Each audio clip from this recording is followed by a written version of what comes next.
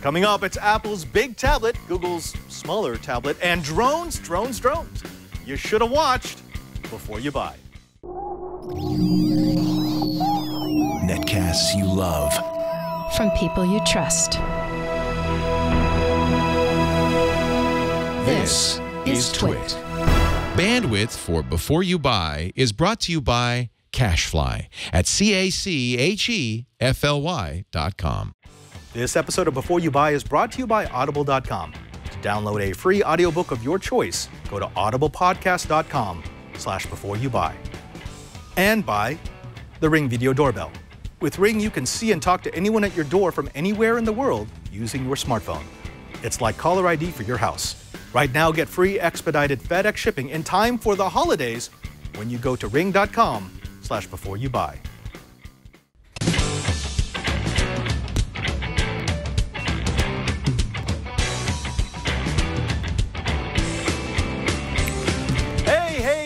And welcome to Before You Buy. It's TWiT's product review show. where We take the latest and greatest gadgets and gizmos and we give it to the people who can give you the most honest review possible. I'm Father Robert Ballecer, the digital Jesuit, and you see before me some of the things that you'll be seeing at the end of the show. It's sort of a drone extravaganza. We know there's a lot of people out there who are going to be wanting to get one of these or give one of these to that special someone in your life, that geek who just needs a little bit of flight.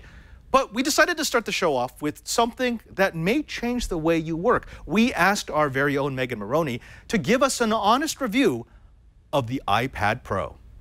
I am Megan Morrone and I'm going to review the iPad Pro and the pencil a little bit. I might be coming a little late to this party, but I like to spend a little time with a device before I give it an official review. If you didn't catch my review of the Logitech Create keyboard on Before You Buy, episode 202, take a look at that because I think a good keyboard case is essential for the iPad Pro. And if you aren't a fan of the Logitech Create, you might want to try the new Smart Keyboard case from Apple. And if you want to be able to adjust the angle of your iPad Pro, you might want to wait a month for the reviews of the Brydge Pro keyboard, which you can pre-order starting January 4th. Now, you can't talk about the iPad Pro without talking about the pencil. It is a very fun tool, but unless you're an artist, the $99 price tag is a tad steep. I will tell you that it works exactly as advertised and does not disappoint. It's also shockingly easy to, to lose, uh, so be careful. It's also a little weird to charge the pencil, and the pencil only works with the iPad Pro. Now, I've been using the iPad Pro since the week it came out in mid November. My first thoughts were that it was as big and beautiful as I wanted it to be. It was as enjoyable to use to watch movies as it was to write scripts for podcasts. The bigger screen was better for email, more fun for games for my kids and I to play, and it was still small and light enough to stick in my giant purse and take wherever I plan to go. I still think that with just a few notable exceptions. First, let's get to the iPad Pro basics. There's a 12.9 inch screen. Inside is the A9X, a 64-bit chip that Apple calls desktop class, and is supposed to deliver nearly twice the CPU performance and the graphics performance of the iPad Air 2. Now, I haven't been disappointed with performance at all. Uh, the iPad Pro weighs 1.57 pounds, it's 6.9 millimeters thick, and it has more pixels than the MacBook Pro. I have no complaints about the design. It seems a little big at first, but you quickly get used to the size.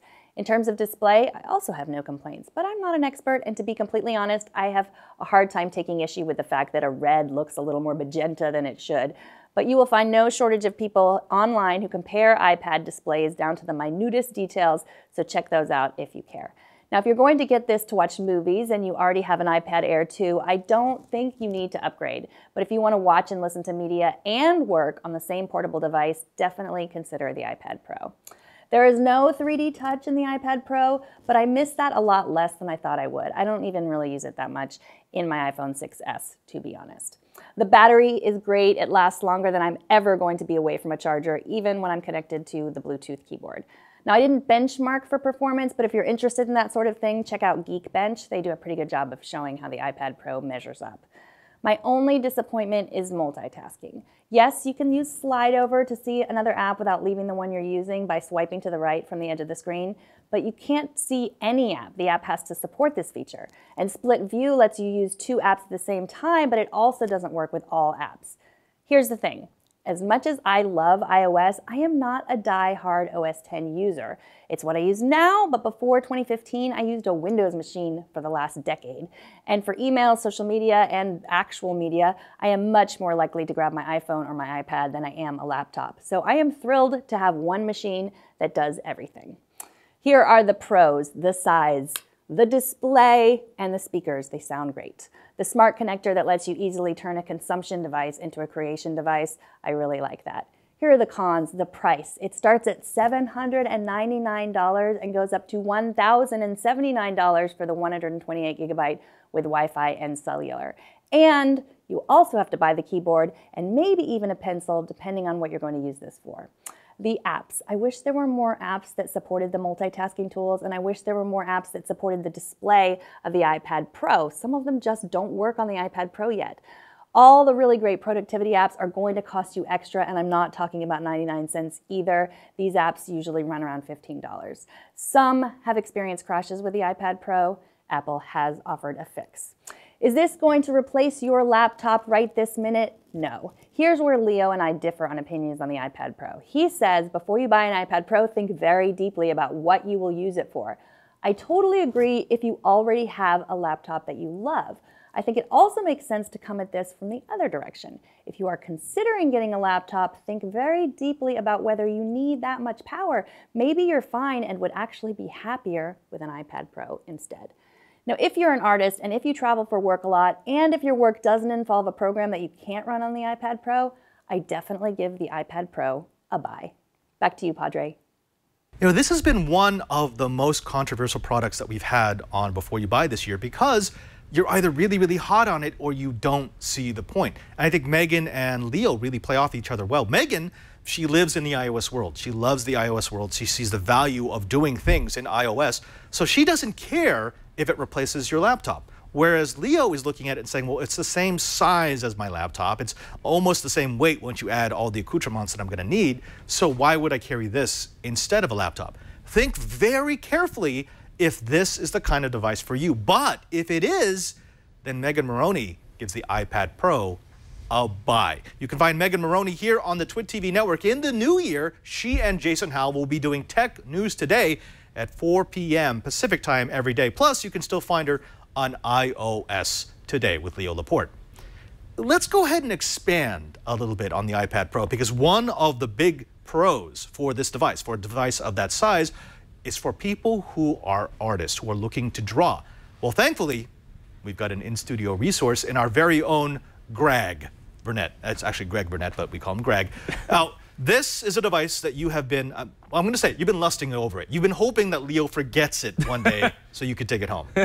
uh, yeah, pretty much. Uh, it, it, it, it's a it's a, a, digital artist's like dream it is. machine. It really is. it's it's a Wacom. It's a beautiful screen and it's a light device all in one.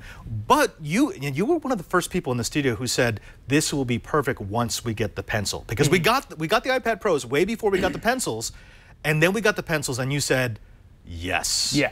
Now, yeah, can you show us some of the work that you've created? Uh, sure. Yeah. I got this camera right over here. Uh, so this is actually this uh, some of the work I was doing when we first got the iPad Pro before I really well, got... What app is this, by the way? Uh, this is just the uh, paper Oh, the one that comes with it? Mm-hmm. Okay. Uh, so this is with my finger. This is what I was doing with my finger before wow. Uh, before I, we got the pencil. So I was really excited to get a hold of the pencil. Uh, so Megan finally uh, let me play with her iPad. Uh, once we got the pencil. And uh, so this is like some of the first drawings I did. very, very anime inspired. I like that. yeah, uh, and as you can see, um, sorry, as it, I I played with it more. I got more like comfortable with it, and um, I like and really started to. Oh, okay, uh, now I am an untrained eye, but I will say the work that you did with your finger was fantastic. Are, as an artist, you say that it's much easier with the pencil. Like the pencil is actually worth it. Uh, yeah, uh, definitely. I'd say that the pencil is the reason to get the iPad Pro. Oh, so you you would not suggest the iPad Pro unless you were also going to buy a pencil. Unless unless you were solely planning on like just doing work with it, Got not it. Uh, like not art, I guess. Uh, uh, uh, if you were planning on doing art with the iPad Pro, you you need you need the pencil um, because the, show it how it works. Pressure, yeah. the take us through it.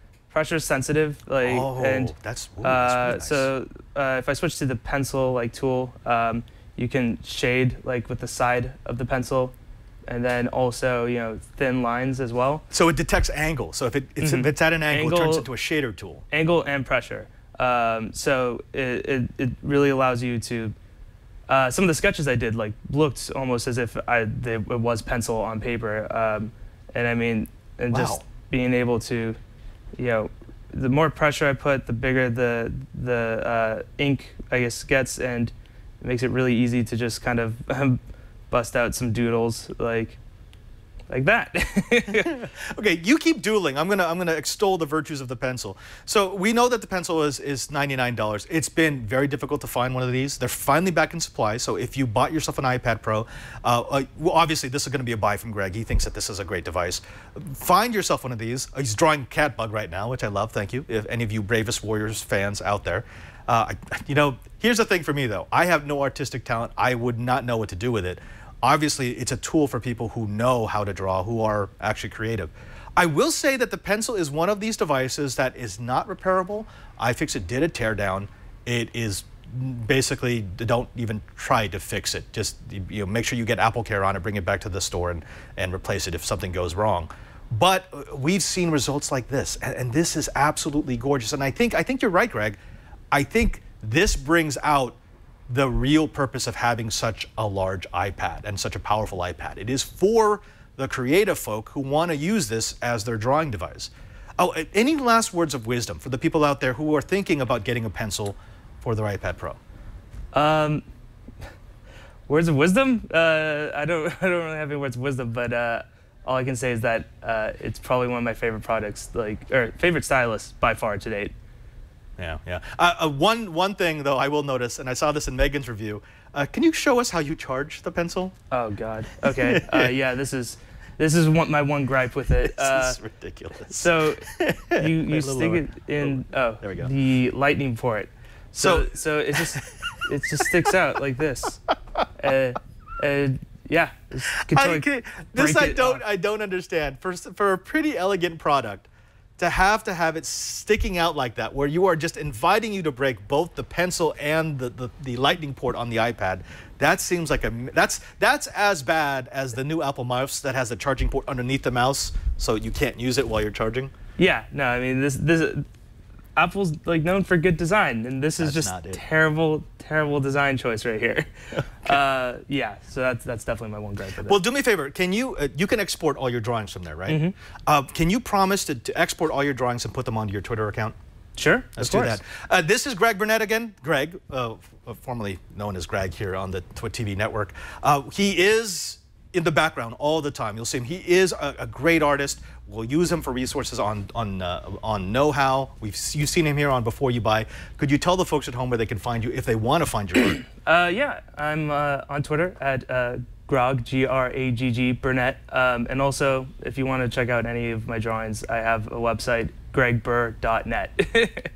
Greg, thank you so very much for sharing that and for sharing your art with us. Again, that's the pencil for the iPad Pro.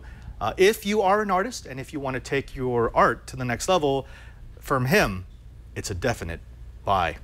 Now, when we come back, we're going to be taking a step out of the studio. We're going to take you back to San Francisco with Bryan Burnett, who is clearly now the more inferior of the Burnetts. He's got a product for you people who like, uh, well, a bit fizzier fizz in your beer. But before we do that, let's thank the first sponsor of this episode of Before You Buy, and it's Audible. Now, you know what Audible is. Audible is the premium vendor of audiobooks on the internet. If you're looking for high quality recordings with people who actually know what they're doing of the stories that you love the most, you've got to try Audible. Now, Audible is the leading provider of audiobooks with more than 180,000. Now, that's not a typo. That's 180,000 downloadable titles across all types of literature, including fiction, nonfiction, and periodicals. Now, for listeners of Before You Buy, Audible is offering a free audiobook to give you a chance to try out their service. And once you try it, you will be hooked. One audiobook you may consider downloading is The Martian. This, this is one of my, this is actually my, my favorite book of the year. I, I bought it in print, I bought it in an ebook, and I bought it on Audible. The Martian is the story of, well, you know what it's the story of because a movie was just released with Matt Damon.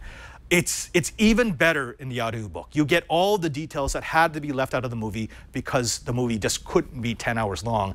And it is such an engaging story. I've listened to that story, that audiobook, at least 20 times. And I know this because my Audible app just told me that I had listened to it 20 times. So something else, I, I don't normally give two titles, but another title that I really, really like, please consider it Ready Player One. I know that book came out quite a while ago, but the audiobook version is read by Wil Wheaton. It's really, really good. Again, one of my favorite books of, of recent years. I, I would put The Martian and Ready Player One on the same shelf. I know you will too. Now, to, to download these audiobooks for free or another one of your choice, go to audiblepodcast.com slash before you buy. That's audiblepodcast.com slash before you buy. Now, those two book credits, that's a, you know, a very, very small percentage of the books that they offer will require more than that. But those two that I just recommended to you, you can get for free right now. If you're not already an Audible subscriber, why not try it out? Why not see if this is the new way for you to read your books? This offer is only good in the United States and Canada, and uh, this applies to all of Audible's offers through TWiT TV. And we thank Audible for their support. Oh, before you buy. Well, folks, let me ask you a question. Do you like fizzy drinks? Well, of course you do. Who doesn't like fizzy drinks? Now, some of you may also like alcoholic fizzy drinks. And if that's you, then you're going to want to take a trip with Bryan Burnett to the Pepcom Holiday Spectacular in San Francisco, where he got to take a look at some very interesting physics. Bryan Burnett here at Pepcom from Host of Know How, and I'm interviewing Philip, and we're taking a look at physics of beer. Philip, could you tell me what you've got here? Sure. So we all know beer fresh from the tap tastes great, but unfortunately for us beer levels, it just doesn't taste the same in the cans and bottles. So we developed a system that would take any can or bottle, even a growler up to 64 ounces, and it would enhance the flavor and taste to give it that fresh from the tap experience.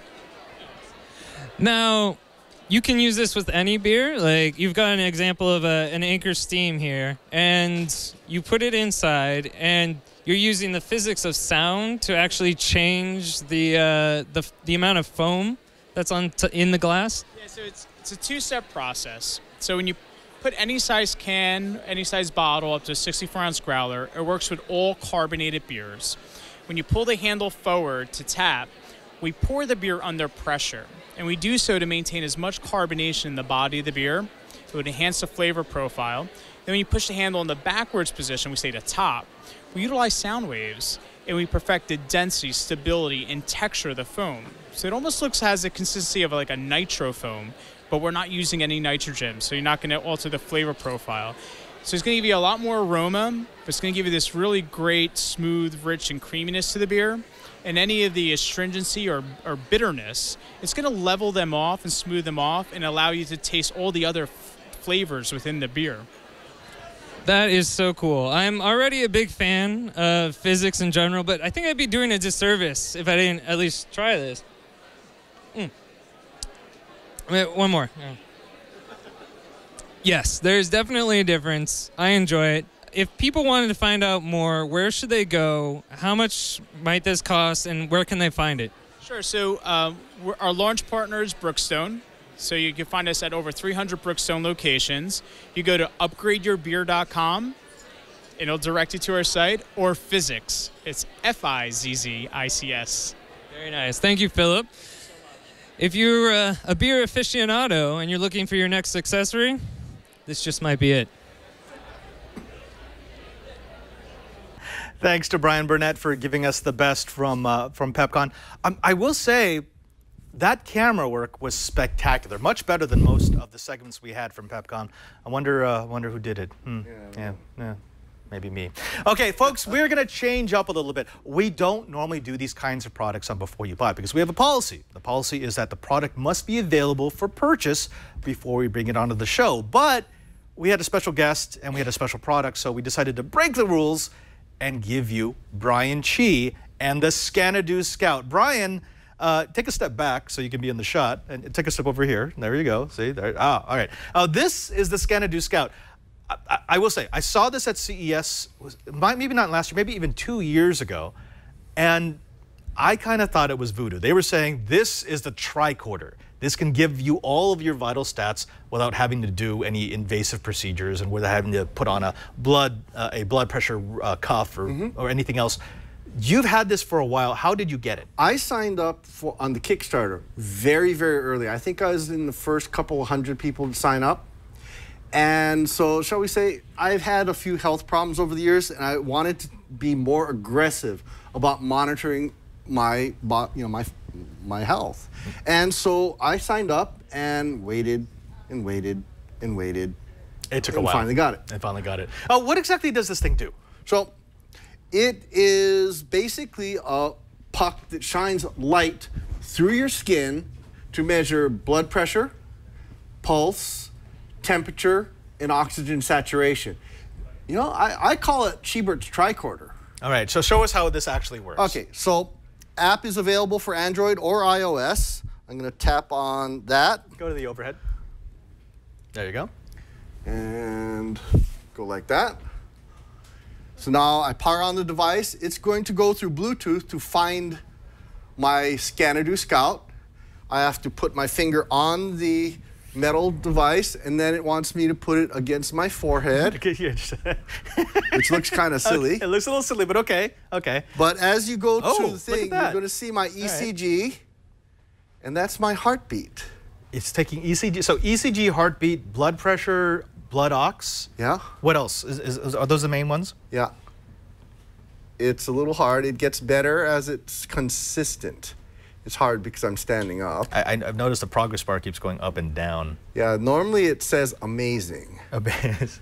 Very good. Okay, we're getting yeah, there. because Okay. I'm I'm not pushing quite so hard. Push harder. Push it into your head. Push. so I, I have to say, I don't remember them doing this on Star Trek with the tricorder. This is slightly different than what I've come to expect from the future. okay, so okay, the progress is, is stalling, so maybe making you laugh is, Yeah. is killing the scan. I, I, I think I think I broke the scan. Okay. I'm laughing too hard. So stop laughing. uh, uh, huh. So th- this is not yet available because they, they actually do need the FDA approval, correct? yeah, I'm actually part of the study group with Scripps Health, and someday this will finish. Normally, normally when I do this a couple times a day, I'm not laughing from Padre jokes, and I do it when I wake up. I do it before I go to bed, and Oh, yeah, see, it took oh, too long. Like, yeah. yeah, your scan is horrible. But what you can do is you can see my trends. So there's my blood pressure trend. That was for today. But let's go look at the week or the month or the year. Year, year, thank you. Or my heart rate. Again, I can look at it over a long, longer period of time. Oxygen saturation is another big one. You know, how well, you know, I snore and when you have very low oxygen saturation, that might be an indicator of sleep apnea. Right, right. But anyway, so what's really good is I'm keeping track of my health. My doctor's really happy I'm being so aggressive about it. And we're having better success at tweaking the blood pressure medicines to try and get my blood pressure down. Of course, staying with you over this week, my blood pressure's kind of going It, yeah, it goes up. Yeah, it bounces a little bit. Uh, okay, I have to ask because there are bands out there that, that are already purchasable that will give me most of these metrics and they will give me a progress scale so that I can see what it looks like over time. Why would I want to spend on a dedicated device like the Scanadu that requires me to do this every once in a while? Well, first and foremost, it is way more accurate. okay. In fact, every time I go to the doctor's office, I will compare, I will do a scan right after the doctor's uh, nurse scans me. And we will compare those numbers. And they're almost point for point identical. I wear a Microsoft band, and the um, pulse rate is wildly off. Okay. So that's the difference. This is a medical grade. Which is why they need FDA approval. Right. Okay. And Scripps Health is the people running the trial. Okay. Well, Cheebert, I know they can't buy this yet, but if they want to find out more information to maybe get on a list for when they can buy it, where can they go and what do you think the price point's going to be? Well, the price point's probably going to be in about the 200 $250 range, depending on how, how much grief the FDA gives them. Um, you can look it up at Scanadu. Um, Oh, I sorry, it wasn't Kickstarter. It was Indiegogo. I, I, I spend way too much money on both. Right. But for those people that have uh, a history of family history of heart condition, definitely a buy. Just as soon as Scanadu's allowed to sell them. There you have it, the rule-breaking review here on Before You Buy. We don't normally offer you products that you can't buy, but uh, when you can buy this one, Brian Chee says go ahead and pick one up for about $200. Brian Chee, he is a co-host with me on This Week in Enterprise Tech every Friday at 1.30 p.m. Pacific Time. He's also the director of the Advanced Networking Computer Laboratory in Honolulu, Hawaii. Brian, if they want to find out more about you and your work, where can they go? Well, you can always go to the school's website at www.soest.hawaii.edu. My uh, Twitter address is at ADVNETLAB. Brian Chee, thank you very much. Now, if you could take this, go back over there, stick it on your forehead, and tricord yourself. Thank you very much, Padre. Uh, folks, when we come back, we showed you the Apple iPad Pro. We're going to show you something a little bit smaller, something from Leo Laporte, maybe something in a Google product. But before we do that, let's thank the second sponsor of this episode of Before You Buy, and it's the Ring Video Doorbell. Now, this, folks, is what the Ring Video Doorbell looks like. It's it is a doorbell. This replaces the little button that you've got at the front of your home that lets you know when someone comes to the door. Now, that in itself is not that all exciting. You press the button and you get a tone. Okay, but what happens after you get that tone is remarkable. Now, here's, I'm going to give you a disclaimer. I actually bought one of these before I ever had Ring as a sponsor on the This Week in Tech Network. And I got to tell you, it's one of my favorite products of all time. Go ahead and go to my, my overhead, Victor, and I'll show you what's in the kit. Inside the kit, you're to find all the tools you need to get this installed, from the drill bits to the level. And then you find the Ring Video Doorbell. Oh, it's got a little plate here that will take the voltage you get from your house that goes out to your doorbell and turn it into voltage that charges the unit. Uh, if you do that, you never have to worry about it charging. But if you don't have that, if it's a new installation or if you've got it in a place where you don't have wiring, you just use this. It's a little micro USB cable, standard cable, I mean, they actually give you one, that will allow you to charge an internal lithium ion battery and keep the ring powered up for a year. Now, what does it do with that power? That's the magic. This has a high definition camera, as well as a motion sensor and a microphone and speaker. It actually allows you to have a two-way conversation with anyone who comes to your door. Oh, here's, here's the thing. I have this installed for my parents. I'm always a little worried about them. They live in Las Vegas, and well, I, I, I don't want people scouting out the house to see if they're home or not, because that's just, just that's a bad thing. So I installed this at their door, and I, I get a full record of when any anytime anyone comes to the door or anytime that the motion sensor gets set off. This is actually feed from the view outside of my parents' door. Now, here's, here's the cool thing. Already this season, we've caught our neighbor stealing power from us during the summer because my parents weren't home and he was powering our, his air conditioner off our front yard outlet. We also spotted someone stealing a UPS package from the house across the way. This is not just a cool gadget. This is not just a way to give caller ID for your home. This is a way for you to get peace of mind. Folks, why not try the product that Time Magazine called one of the best gadgets in the world. Why not see if maybe this is the thing you need to complete your home security system? Why not get yourself a peace of mind for you and your loved ones with the Ring Video Doorbell? Now, right now, you can go to ring.com slash before you buy for free expedited FedEx shipping. That's ring.com slash before you buy. Ring.com slash before you buy. With Ring, you're always home. And we thank the Ring Video Doorbell for its support of Before You Buy. Let's go ahead and take a gander over to Leo Laporte, who's got his own take on a different kind of tablet. This one not from Apple, but from Google. Hi, Father Robert. A new toy has entered my domain, and one we were very excited about when Google announced it at the Nexus event a few months ago. This is the Pixis Pixel C tablet. And we were puzzled about it because of the name. Normally, tablets from Google are Nexus. The Pixels are Chromebooks. An Android tablet called a Pixel? Well, Google explains it saying, well, the Pixels are the ones we design and build. The Nexuses are built by partners. But I don't know if that's fully the right answer. Ron Amadeo at Ars Technica has some evidence that the Pixel C was originally intended to be a Chromebook. Uh, but the project to touchify Chrome OS was canceled, and so they had to uh, they had to put Android on a tablet. It's a it's a nice tablet with a very fast processor. This is in fact the first Tegra X1 tablet and a, a unique keyboard attachment system. Now they have two keyboards. This is the Portfolio keyboard, which is more of a case, as you can see, that has a keyboard attached and acts as a stand. But I have to say I'd recommend just what Google just calls generically the keyboard. It's not a full case, but watch this. When you break the magnetic attraction, it's a very strong magnet, and then you see that? Look how strong that is. It, it won't even fall off.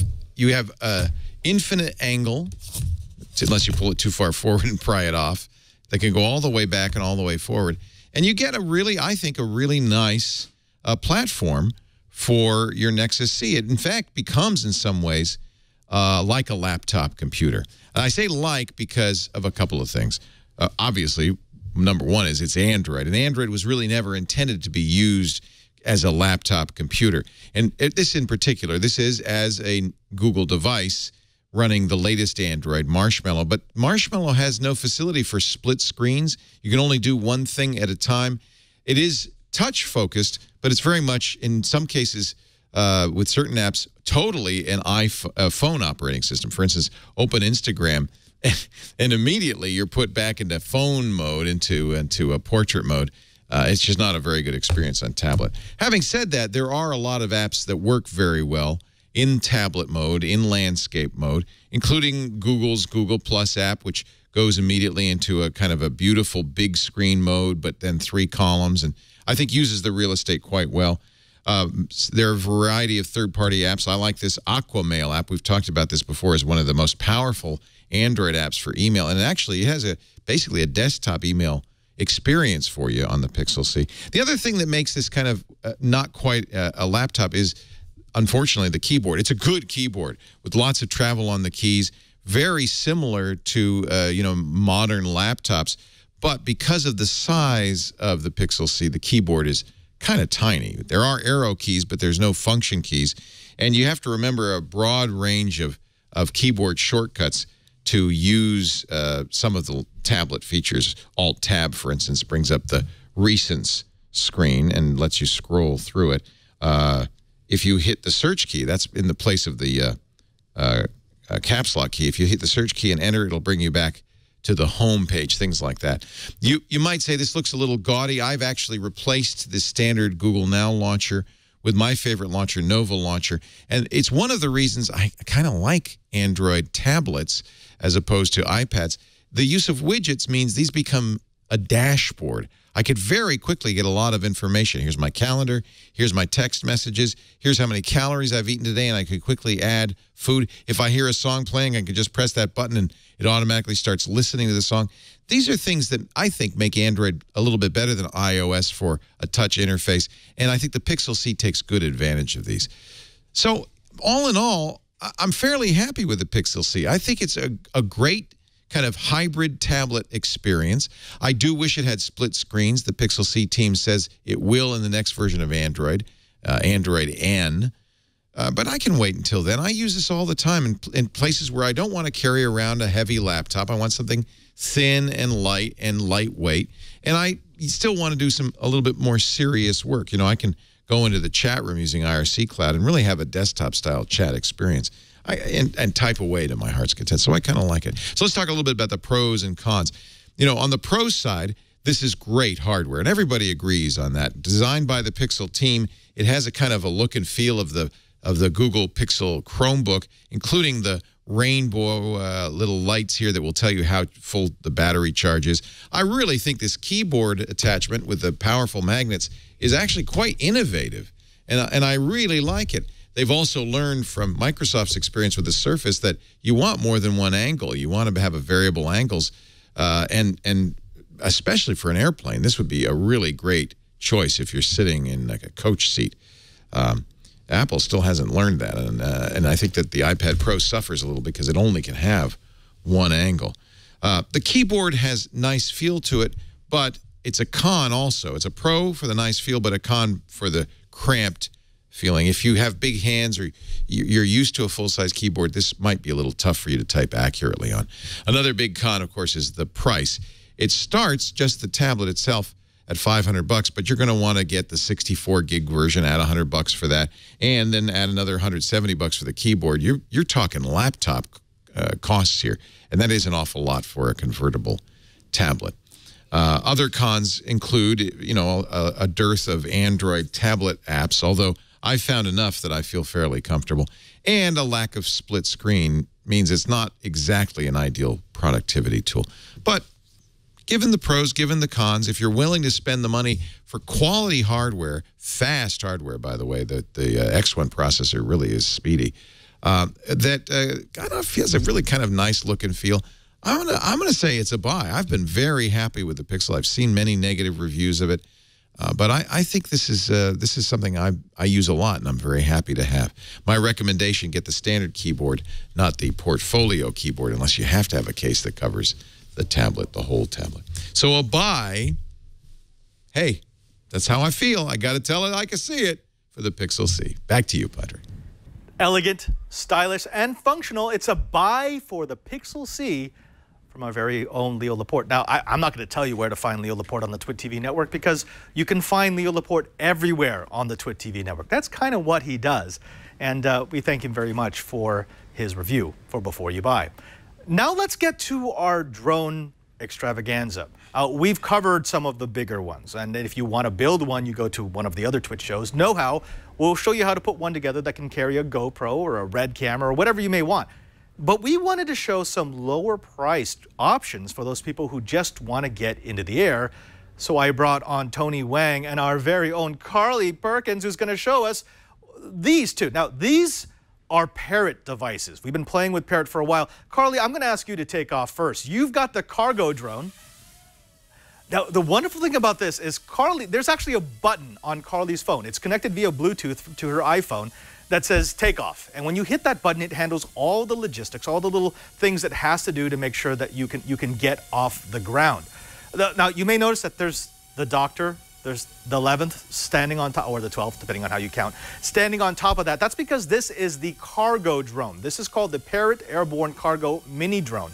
It's a quadcopter that has a little Lego attachment. So for those people who want to play around, uh, yeah, you can do that. Oh, she's got great control. Even though she's still learning how to fly, because it runs off of her phone and because it's got an app that, that does most of the thinking for her, she can concentrate on what does she want it to do. Does she want it to spin around? She could actually make it flip, but she shouldn't do that right now because she'll lose a Lego figure off, off the top.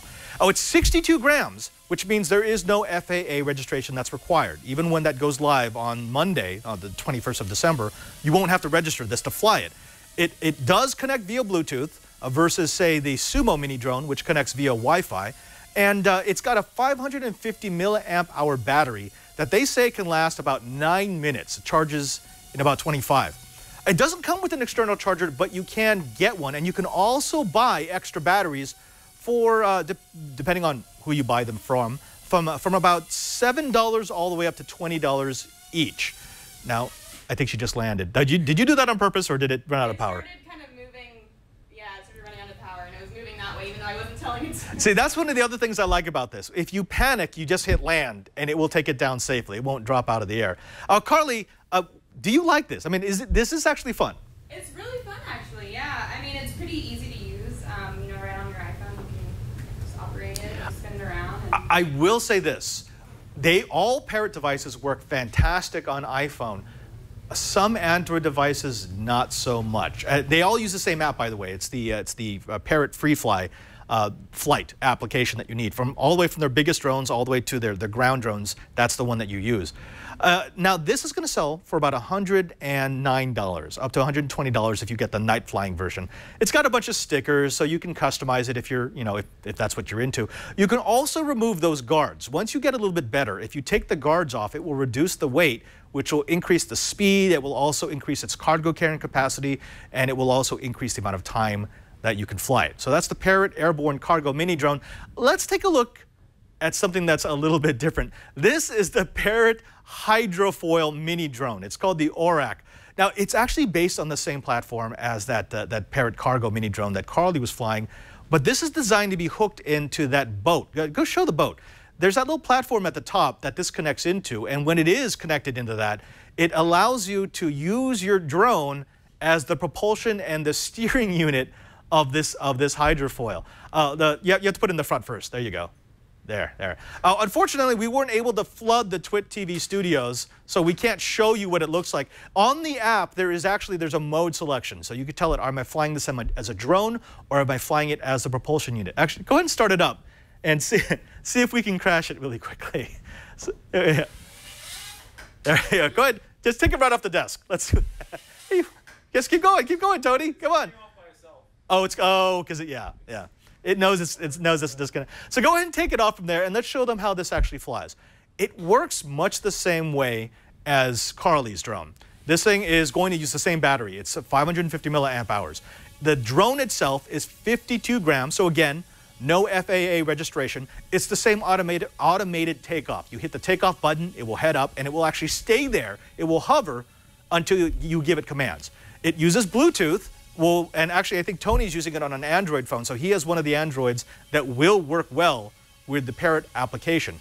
Now, of course, this can work as a drone or a hydrofoil, uh, but the disadvantage to that is if you're nowhere near a body of water, you're probably not going to be using it as a hydrofoil all that much. I will say, though, the boat mode was a lot of fun. I put it in a pool, and this gets some speed. I mean, when, when you actually get that boat up on its foils, uh, people, people do notice. Oh, this is considerably more expensive than the cargo drone. This is going to go for $199.95, so it's about $90 more. I'm a little put off by that because I would probably spend most of my time just flying the drone, not using the boat segment of, uh, of, the, uh, of the hydrofoil. Now, let's go and look at the pros and cons of this. I, I, like the fact that they're very easy to use. These are both incredibly easy to fly. I like the fact that they've got a, a mini six, uh, VGA camera on, underneath the drone, so you can take some quick pictures. It's not great, but it's, it's actually much better than you think it might. Uh, I also like the fact that they're durable. You can crash these things over and over again, and they're not going to break. On the con side, both of them are a bit pricey. I, am actually okay with the price of the cargo, cargo drone at $109, $110 that's just fine. But $100, $200 seems a bit steep to add an attachment that you're probably not going to use all that much. So between these two, I would say the cargo drone gets definitely a buy, and the hydrofoil, unfortunately, is going to get a don't buy. But again, if, if you live in a place surrounded by water, maybe that's what you want. Thank you very much to Tony Wang and to Carly Perkins for being our expert pilots, uh, iOS and Android. And uh, yeah, that, that's what we got. All right, so that's in the $100 range. Let's bring it down a tiny bit. I want to show you this. This is an update of a drone, actually the very first drone that we showed off on Before You Buy. Uh, this is the Squan Extreme Quad Force 720p video drone. Now you may notice it looks a lot like the other one. It's the same configuration. It's got an extra hump. This is actually a much higher strength shell.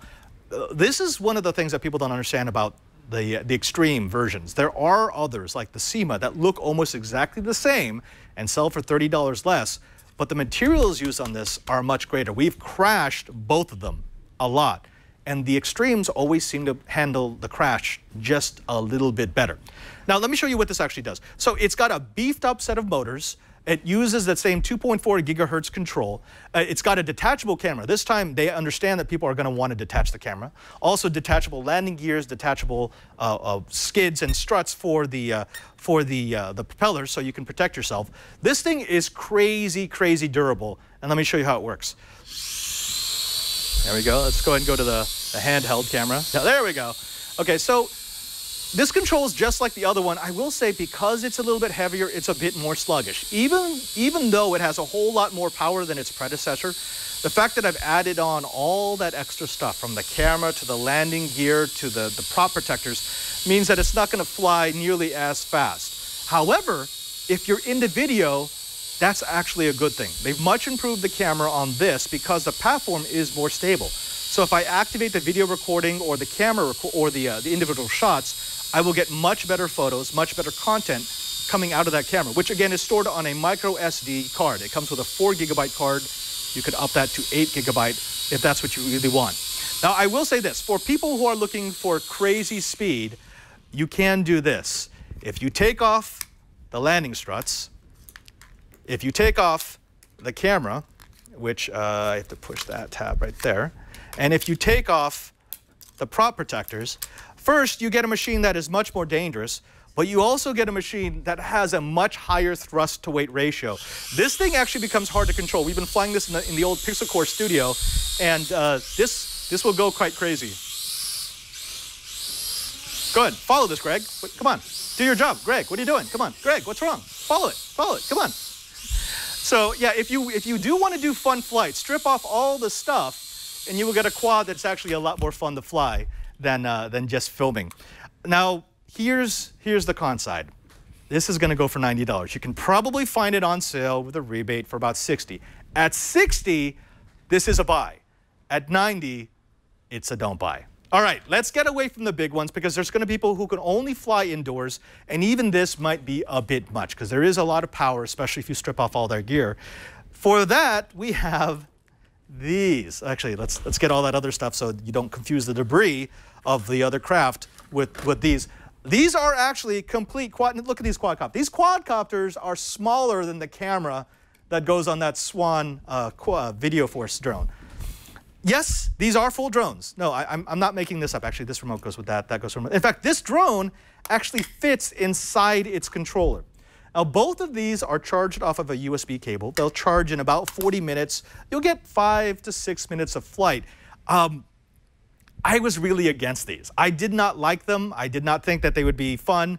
Uh, I was very, very wrong. There is a lot of fun to be found in a small drone. Now, let's take a look at this one first. This is the Aerius. They're calling it the smallest in the world, and I actually do agree, agree with them. It's 30 millimeters by 22 millimeters. Oh, and by the way, none of the drones that we've shown so far, or will show, require FAA registration. You just don't need it. It's, it's, it's, uh, they're light enough that they, they slip right under the radar. So when you turn this on, you got to bind the remote. There we go. And uh, this is how it flies. Gregg, I, I don't know how you're going to follow this, but all right, let's They actually fly really, really well. I was not expecting, I'm going to fly it right in front of you. Objects may be closer than they appear, Gregg. There, I mean, this is actually a really stable platform. It will do flips. I'm not going to do it right now. Uh, I will say one of the issues with this is um, the props do fall off a lot. So you may need to use a little stickum, uh, but it's incredibly durable. We dropped this thing from about 20 feet up, hit the ground with a thud, put the props back on, and it was ready to go. And it actually does have a lot of, because it is so small, even though it's got tiny little motors, you can get a lot of boost out of them. Now this is going to go for, what was the price on these, uh, Karsten? These are $35 each. And the nice thing about this is if you get this for your kids, uh, they're not going to be able to destroy anything. They can annoy the dog, they can annoy the cat, but uh, they won't be able to hurt themselves or anybody else. Now let's take a step up. We go from the Aerius to the Axis Turbo. This is a $38 drone. It's the former smallest in the world. Before they came up with that one, we had this one. Again, it charges off of USB. Will charge in about 40 minutes. Will give you between five and seven minutes of flight time. Uh, it's got three speed settings. We're only going to use the, the, lowest one. Uh, and this one actually does have a flip. It's, it's much like the Syma quadcopters that we like in that you can do an automated flip. So if you want to show off to your friends. Uh, now it's bound. Gregg, we're going to follow this. I actually prefer to fly this one just because of its size. It means that it's a little easier to control. It's a little easier to get the right throttle setting. I'm coming for you, Gregg. What? What? Come on. What do you what? What do you got? What do you got? What do you got? I should get Tony out here. He could show you how you flip these things. Uh, uh they are kind of small, so they're hard to track. But at the same time, because they are so small, it means that you can fly them in places where you wouldn't otherwise fly. Hey, Tony, you want to fly? Here, you take over while I, I talk about this. So Tony's going to give you a quick demonstration of, of all the fun that you can have with this. I've got the back pointed toward you, so uh, there you go. Tony's been practicing with this, this size of drone much more than I have. He's, he's showing off the, uh, yeah, back off so you can show you the flip. So that's a, it's a pre-programmed flip.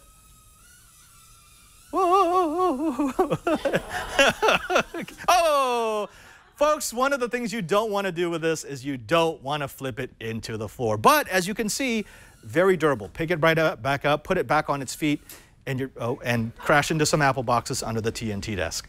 Again, this is the Axis Turbo X, $38. If you're looking for a smaller drone that can't do any damage, uh, you know what? Even though I didn't like them at first, I gotta say both of these are a buy. Well, folks, that does it, not just for this episode, but for this series of Before You Buy. This is the last episode that we will have for standalone reviews. From now on in the TWiT TV network, these reviews are going to be split up into the shows in which they belong. You're going to see things like the Pixel C on This Week in Google. You're going to see things like the review for the Pencil and the iPad Pro on MacBreak Weekly. And you're going to find reviews for drones like this on Know How or the new screensavers. I, I do want to say that uh, it's been an absolute pleasure to bring you all the best, all the coolest, all the latest and greatest in gadgets over the years. Before You Buy is one of the shows that I grew up with here on the TWiT TV network. And so even though it is sad to see it go, it is very, very happy news to know that we're going to continue to bring you the best reviews that we possibly can. Thanks to all of our reviewers ever. Of course, Leo Laporte, of course, Megan Morrone and Mike Elgan and Jason Howell and Bryan Burnett and Gregg Burnett and Snubs, Myriam Joire, pretty much everyone who participated, from staff members like Carly to people like Patrick Delahanty, who uh, give us an odd view of technology every once in a while. It's been our absolute pleasure, privilege, and honor to walk with you with your techno lust. Until next time, actually, until the next time we show you a review on another show on the TWiT Net TV network. I'm Father Robert Ballecer, the digital Jesuit, just reminding you that you should have watched before you buy.